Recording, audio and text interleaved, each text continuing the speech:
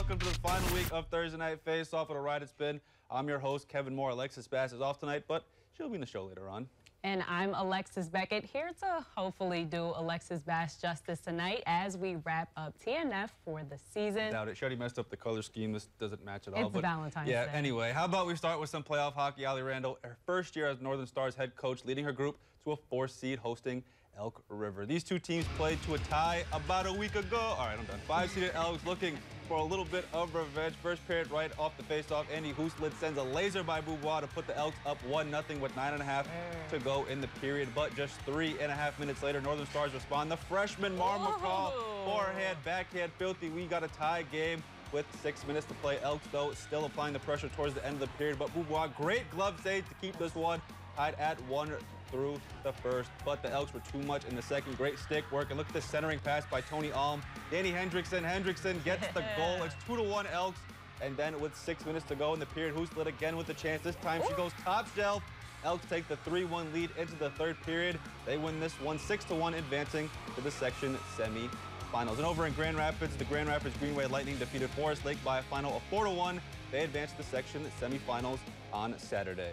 And in case you missed it yesterday, Duluth Denfeld Hockey, along with Rockridge, will be jumping into Section 7 AA. This change will start at the beginning of next season. Denfeld Activities Director Tom Pearson said moving up to Section 7 AA has been a topic since about 2008 with hopes of bringing more excitement to the program.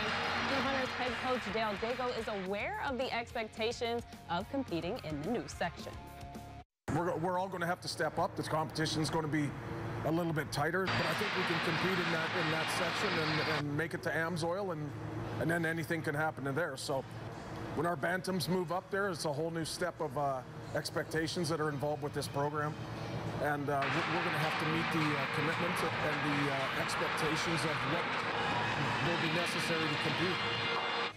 And tonight, the Hunters matched up against Duluth Marshall Hilltoppers, and this one was a battle to the end. We go to the end of the first period, not a single goal until Brendan Friday said that's enough. Tuesday, a Wednesday, top shelf Thursday, goal Friday, through traffic Saturday. with 10 seconds left. Now to the second, Topper still with a 1-0 lead, but then it's Andy That's the man dog. Larson from blue line to blue line. He takes the shot and lights the lamp to tie things up at Mars. Now same period, same score. Caden Postal from around the net gets one through the five hole to take a 2-1 lead.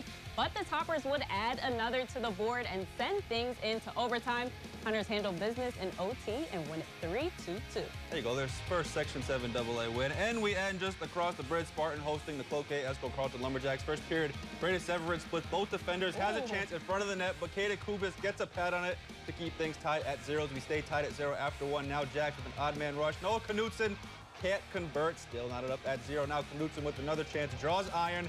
Another shot goes wide at the net. Knutson's next shot gets blocked. This man's done shooting. He- Here, Lucas, take this. And Bronner lights the lamp. CEC finally gets their goal, and that goal is the game winner, winning this one 1 nothing the final. And the girls had a game across the street, and they just beat all of Western Wisconsin by a final of 8 to 1.